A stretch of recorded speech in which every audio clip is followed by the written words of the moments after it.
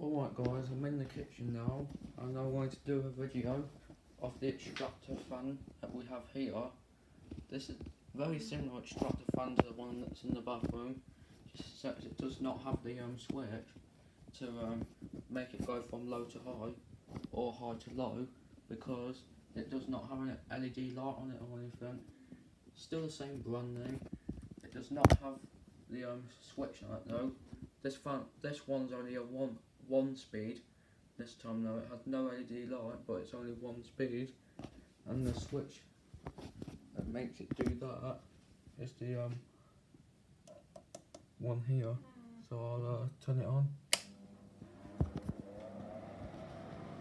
It was quite loud.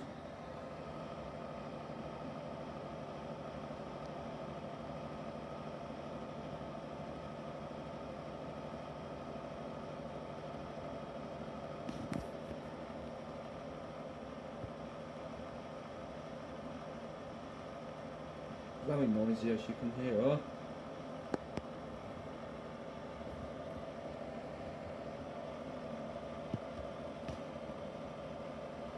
Okay, I'll turn it off.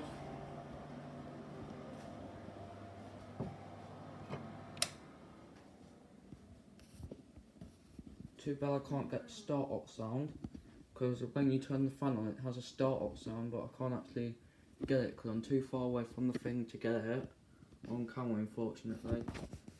Sorry about that but there's the logo of the brand name. It's got a lot of dust on it I've noticed with this one. Yeah, it's got a lot of dust on on this fan. Gets used. It does get used quite a lot though. Um, yeah, like I said in my nan's kitchen, no, we do not. She does not have a extractor fan. Only we do, but she doesn't in her kitchen. But yeah, very dusty fan. Quite.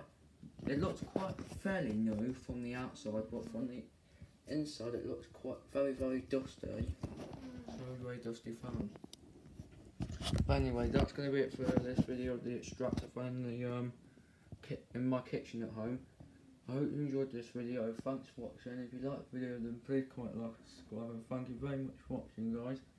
As always, see you in the next video. Bye for now.